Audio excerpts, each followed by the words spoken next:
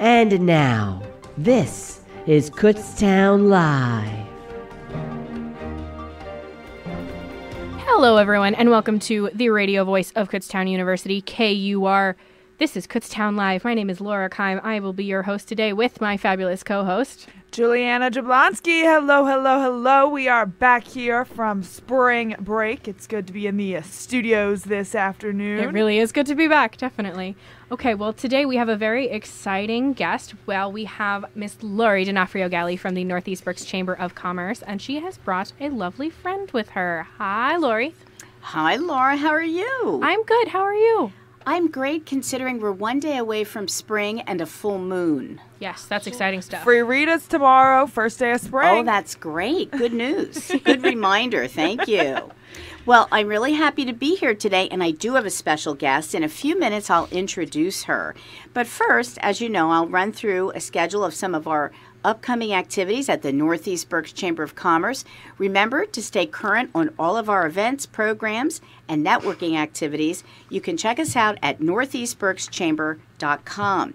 Coming up this evening at 4:30 in Birdsboro, which is a little bit on the cusp of our Northeast Berks Chamber, we are very happy to conduct a ribbon cutting event for the Birdsboro Lodge, uh, which is a new member that joined in December. So we know that we'll have a number of people there to celebrate with the Birdsboro Lodge. Tomorrow evening, we'll be here for a networking mixer in Kutztown at the Kutztown Tavern, uh, and this will be jointly hosted by the Kutztown Rotary Club and the Northeast Berks Chamber of Commerce. Both of these events are free. There will be refreshments provided, and with the networking event, there'll be a cash bar. So if you're a member of the chamber or you're a member and you'd like to bring a guest, you're certainly welcome to do so. Coming up next Wednesday, as part of Kutztown University's Entrepreneurial Leadership Week, uh, the Northeast Berks Chamber has been involved in organizing and partnering with the College of Business for the Women's Panel and Networking Luncheon for a third consecutive year. All events next week are free and open to the public, and our event is on March 27th, which is Wednesday from 11 to 1 in the McFarland Student Union. Please go to kutztown.edu and uh, use this text search box for Entrepreneurial Leadership Week, and you can register for the luncheon, the family business panel, or any of the other events that are happening Tuesday through Thursday. Now, I am happy to introduce a special guest. Her name is Marcy Tocker. Marcy is a therapist. She's the founder of Grey Muzzle Manor in Fleetwood, Pennsylvania, and she's also a member of our Northeast Berks Chamber. Welcome, Marcy. Hi, thanks for having me. You're welcome. Well, we're going to get to some exciting information about upcoming events and fundraisers for Grey Muzzle Manor. But first, why don't you tell us a little bit about the mission of Grey Muzzle Manor, why you decided to find, found the organization, the nonprofit, um, and what you've been doing lately. Oh my goodness. Um, Grey Muzzle Manor actually just recently I have lived there and has been around for seven years. I know. Um, and originally I purchased the small part small farm for a sanctuary for myself and my animals. Um, I had already been very interested in animal assisted psychotherapy, preferably equine psychotherapy, um, and had really pursued that uh, throughout undergraduate and graduate school, which I was in the middle of when I bought my place. Um, and I just knew that one day I wanted to have um, a place where people could come and I could offer that type of therapy. I wasn't expecting that to happen yet, um, but I I wanted to be home with my horse, and so I did what most people would do, right? Totally crazy. At 24 ish, um, bought a farm. Um, and I was already doing senior dog rescue and hospice care and special needs animal rescue. I've actually done that for, oh, 16 years um, hence the name Grey Muzzle Manor. Um, and so I continued to do that. And people started to, friends started to um, contact me. They had a stressful day at work or um, whatever and could they come out and spend time with the animals great sure yeah come out so i started to see people experiencing the same things that i had experienced and thought oh my gosh um, this is this is really happening. And it kind of started to evolve from there. Um, they would tell their friends who would tell their friends and we called them visits and we just would do these really kind of fun visits um, feed the animals talk whatever. Um, and that it, it just snowballed You know, it's unusual for me to see you sitting here in the studio without an animal. I rarely see you without a dog, and I've been to the farm and I've seen the chickens and pigs. I mean, you have a whole array of animals there. And you talked a little bit about equine therapy, and of course, there's other animal assisted therapy that happens.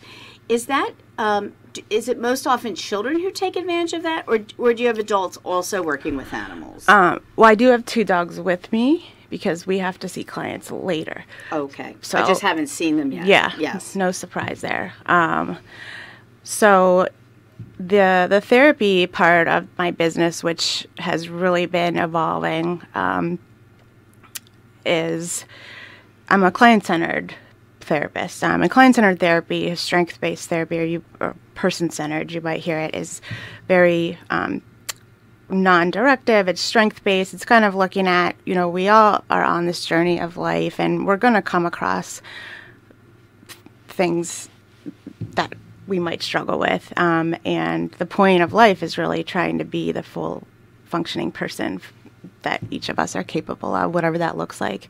And saying that change can happen and that can occur if certain things are present in the environment. Um, so for example acceptance empathy with a therapist non-judgment um, congruence you know like with me and how i'm treating somebody and those also happen to be things that animals offer us um, organically um, so while I do animal assisted therapy, we also will hike sometimes. We do art therapy. We put some play therapy in there. Um, we've done therapy with the kids climbing apple trees and made it work um, with the model that I'm trained in. Um, I see a lot of kids and teenagers, um, which is not a population I saw myself working with, actually. I went through school um, saying I was going to work with women, um, middle adolescence to middle adulthood, struggling with anxiety, depression, trauma history, that type of thing. And I do work with them, um, but a casework job a couple years ago showed me how much I actually do like working with little guys. And so it is a it is a lot of kids and adolescents. Apparently, not a lot of people like to work with adolescents. Go figured. Um, teasing. I love them, um, but I have I have adults too. So, how do your animals come to you typically?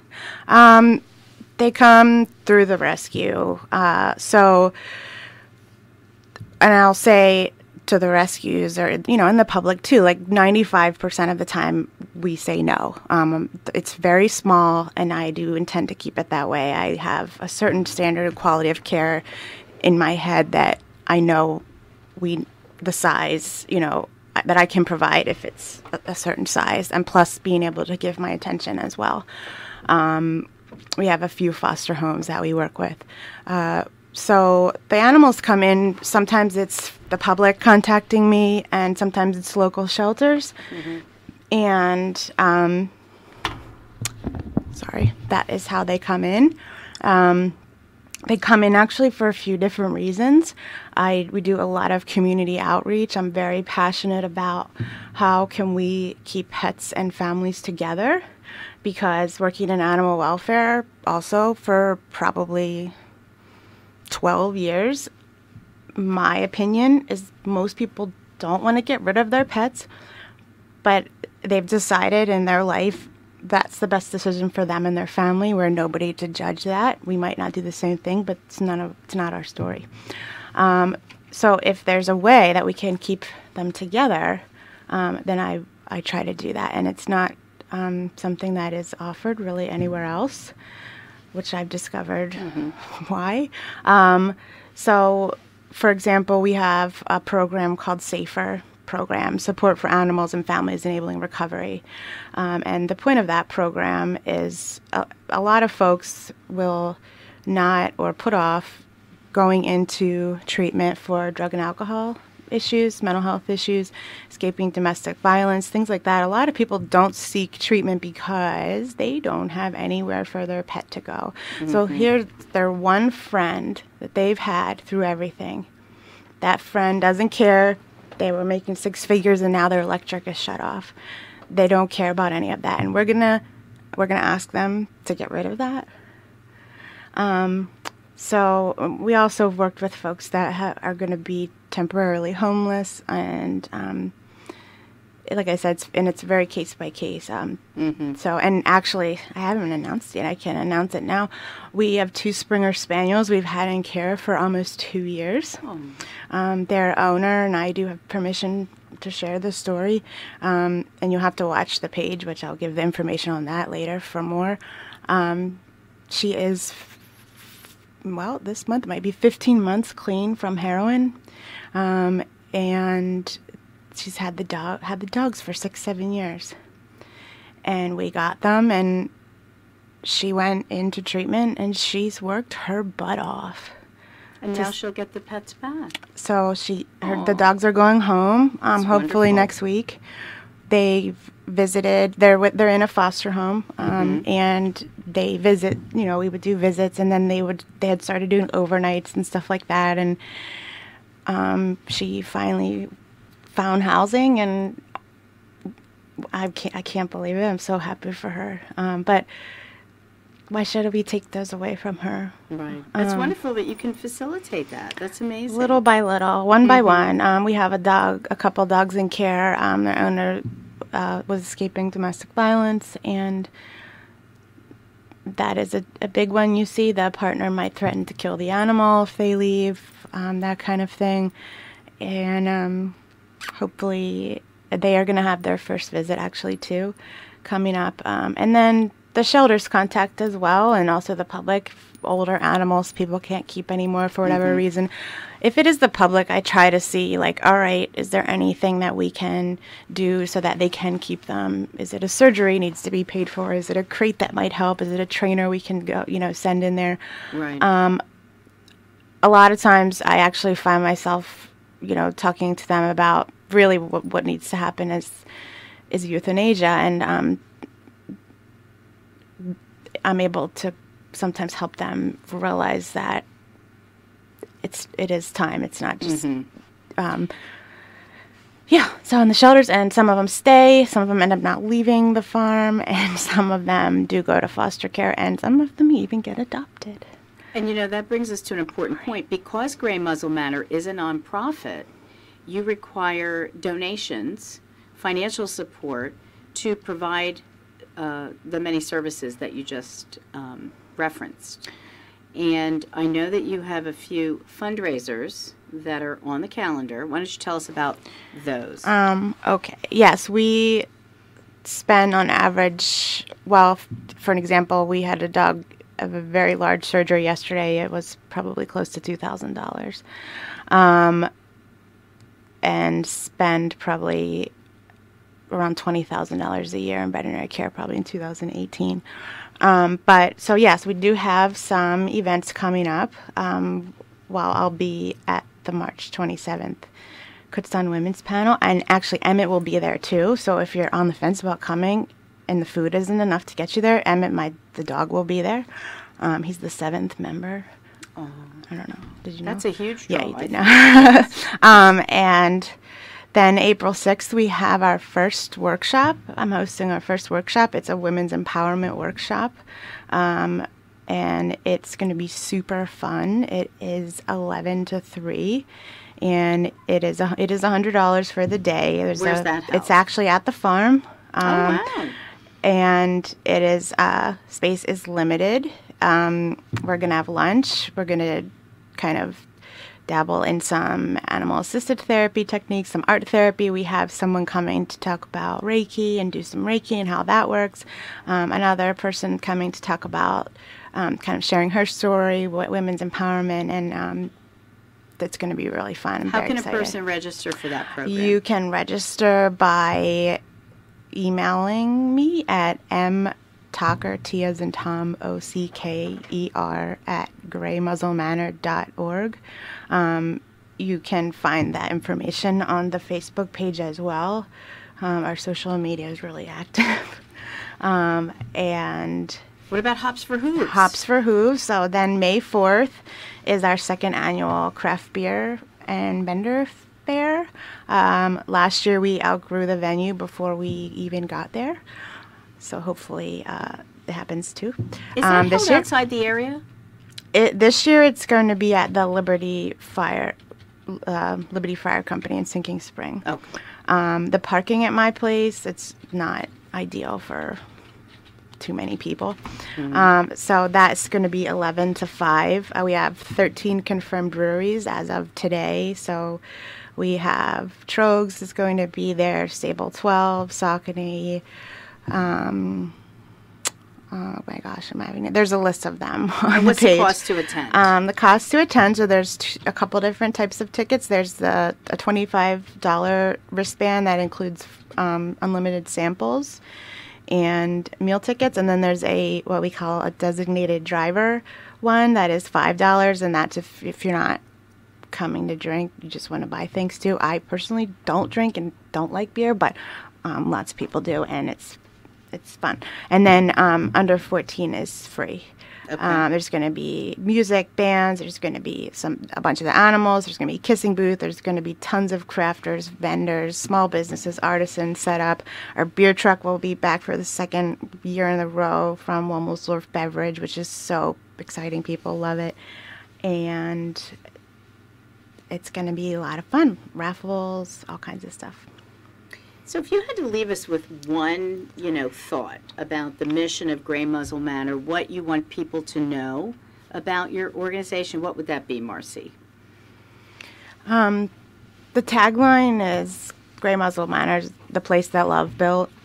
Um, and when people come or have any kind of interaction, I want them to feel like they belong.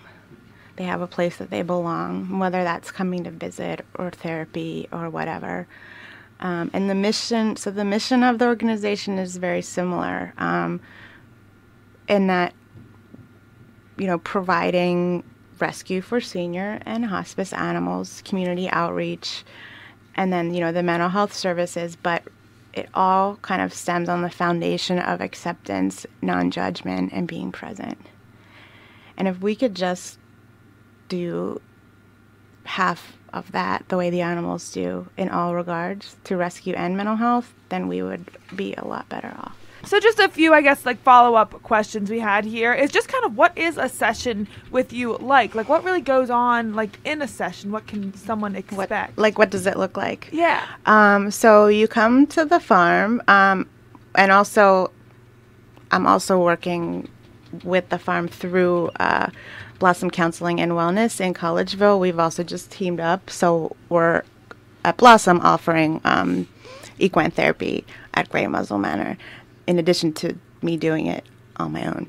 But anyway, um, so so you come out, and usually we've talked on the phone and just kind of got to know each other just a little bit, to see if it's a good fit. We meet in my little office, little office, and we just kind of chat for a few minutes. Um, you're met by the horses are usually hanging outside. Um, there's dogs in the office with me. Um, I love inspirational quotes, so you're met by all that stuff, and really look at why do you want to come. Um, and sometimes kids have different answers than their parents, which is fine, um, because it's you know the session belongs to you. So I'm just going to walk alongside while I help you discover the strength that I know that you already have inside you. Um, and with adding the animals and the art and this, you know, what other entities we're creating in my head, it's like a triad almost. And we're just the catalyst to helping you navigate what's going on in your life through us and the animals and the art.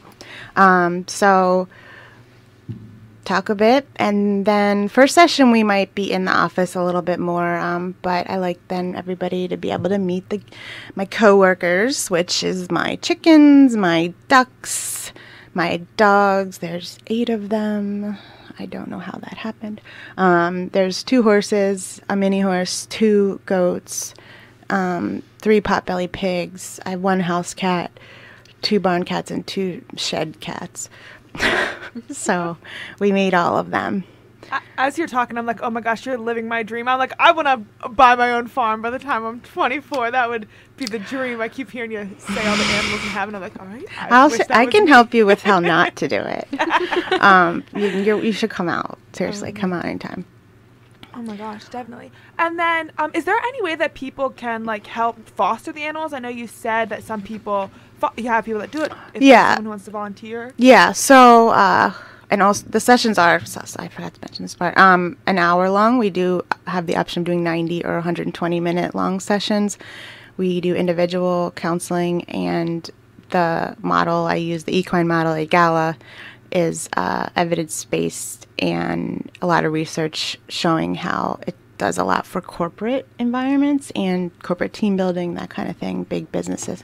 Um, anyway, so um, yeah, vol- so volunteers, we we do look for foster families often, but it it i- I am so tiny, I don't always know when we're going to use them, if that makes sense. Um, and some of those foster families, you know, I want for the Safer program, and those are long term commitments. Um, and but we pay for everything, provide whatever they need.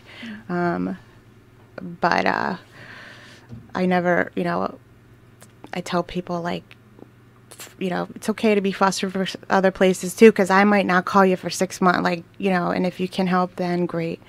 Um, and then, so that's that's a way to to foster. And then I guess like my last question here is kind of I don't even know if you have an answer for this. I know they like there's like a some fact out there that like you know spending time petting your cat or dog for so many minutes makes you so much less stressed. Is that like true or is there any like advice you could give to like the people at home who you know might have a dog and be stressed or kind of thing like that? Um, it's amazing. I mean, I watch sessions and my jaw hits the ground because I have no explanation for what just happened. Um, in an amazing ways with the animals. And I try to like if you think of the feeling you get when you come home and your dog or cat greets you, that that feeling we're using that that's that unconditional acceptance, non judgment. They don't care if you haven't showered in three days, you just lost your job, you failed a test. They don't care. They love you just the same. Um, that's what we're capturing. And then we're adding this element of mental health professional. Um, and it is important to recognize there is a difference between like spending time with the animals and then spending time with them as a therapeutic factor with a mental health professional present is very different. Um, and, you know, our jobs there are to keep people safe be- as well because things will come out traumas, memories, things like that, and you really make want to make sure that whoever's doing the sessions is trained and knows what they're doing. Um, but even without scheduling a session or just things that we watch our animals, what are they thinking about? Well, if they're laying in a bed, they're probably thinking about laying in a bed. if the horses are eating grass, they're probably thinking about eating grass. This, they're prey animals in the wild. If they're standing there thinking about that they might have offended somebody three days ago, there's a cougar's going to jump on their back. I mean, so if you watch your dog or cat or bird or whatever, and you notice those things, and trying to replicate that yourself will will do a lot. Well, thank you so much to both of you for coming on here this afternoon. You're welcome. It was wonderful to speak to both of you. Have a wonderful rest of your day. You and too. we'll be back with more of Kutztown Live.